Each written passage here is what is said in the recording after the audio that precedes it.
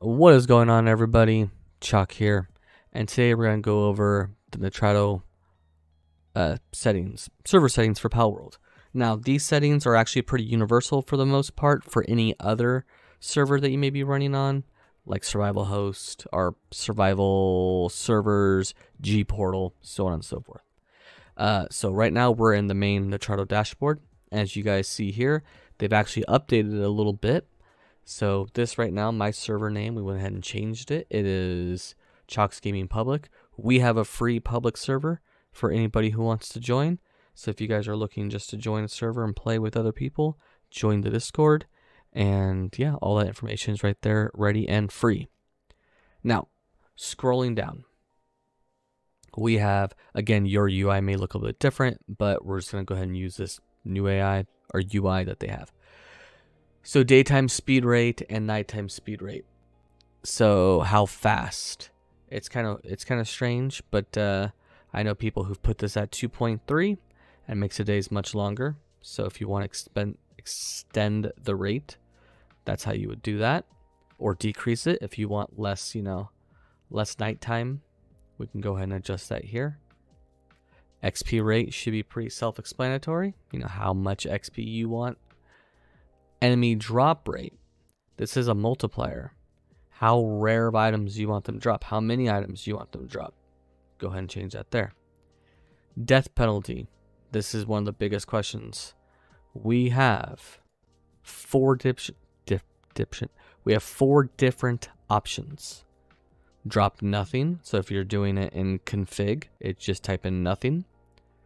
Lose items only, or in config, just type in items lose items and equipment, or in config, items and equipment, or you lose item, equipment, and pals, or in config, all.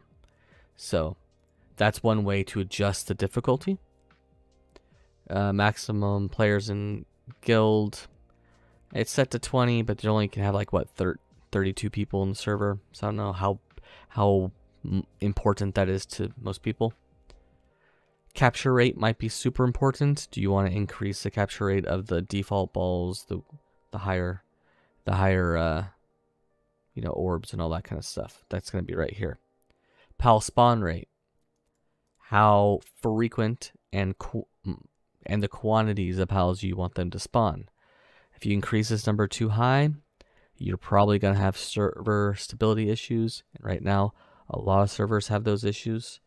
Um, Unfortunately, this is not a guide on how to fix your server from crashing and restarting.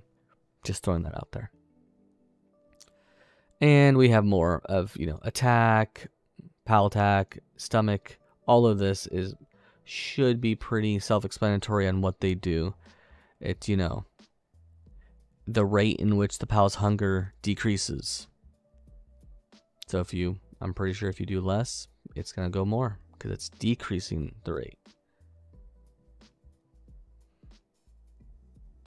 Going down here, here's another popular, another popular question. The egg hatch timer. This is set in hours, and this is to incubate massive eggs, so the largest eggs. So if we set this down to one, it's going to be one hour. Or if we don't, if we leave it default, three days. Player uh, player stats are exactly like the PAL stats.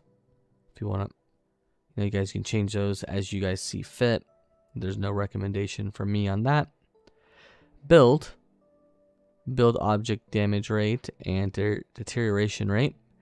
You can, you know, my my members server. If you guys want to join that, go ahead and join the membership program. Uh, the member server has this set to where the buildings don't deteriorate. What that means is, is you can build a base outside of your your PAL box, and you won't have to worry about it taking damage over time. Although it will be susceptible to raids. So that is a that is a real thing. And then we have collection drop rates, collection HP rates, and respawn rate. All that's should be pretty self-explanatory. If you guys don't know what that is, that's when you go up and you hit a tree, hit an ore mine, stuff like that. So, as of right now, there still is no way to fix if you have like a a mining base and you log back in and they're all sick and there's no way to avoid that unlike in single player. You can't avoid that. But with that being said everybody this is a quick uh, response to someone who posted my comments about asking to go over it. So i thought i would highlight the big key ones which is death penalty xp rate egg and a few other ones there is the ability to connect your PAL servers to like an RCON. So you can use like PAL bots to show server status, stuff like that. Right now, Nitrado's is kind of buggy, not really working all that well. Um, it's hit and miss whether you can get it to go or not. So, with that being said, guys, that wraps up this video. Again, if you guys are looking just to join a public server, if you guys want to join a public server, we have a public server that is open. And right now our Nitrado server is pretty stable. Only you know, it only goes down once like every three to four hours, so it's not too bad. Uh, also, join the Discord, like, subscribe. If you guys have any more questions, comments down below, and we'll see you guys next time.